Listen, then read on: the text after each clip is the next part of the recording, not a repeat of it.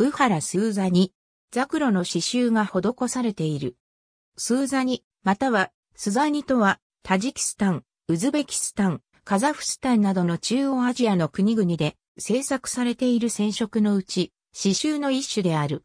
スーザニはペルシア語で縫い針を意味するスーザンに由来している。イランにもスーザニに似た織物があり、こちらはスザンカーリーと呼ばれている。スーザニは主に木綿や絹の生地に絹製の刺繍糸を用いて刺繍する。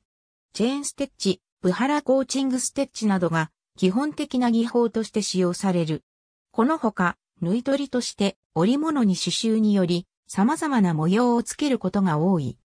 スーザには二つもしくはそれ以上の複数の刺繍を組み合わせて作られることが多く、大きなスーザニの場合は刺繍した後に数枚の布を縫い合わせて完成させる。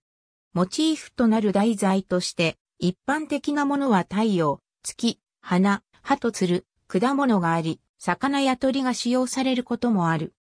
現存している最古のスーザには18世紀後半から19世紀、初めに制作されたものであるが、スーザにはそれよりもずっと以前から使用されていたと考えられる。15世紀初めには、スペインのキシルイ・ゴンザレスでクラビホがティムール朝を訪問した際、スーザニの原型とみられる刺繍に関する記述を残している。スーザニは伝統的に中央アジアの民族により持参金の一部として制作されてきたものであり、結婚式の日に振動に対して与えられる。ありがとうございます。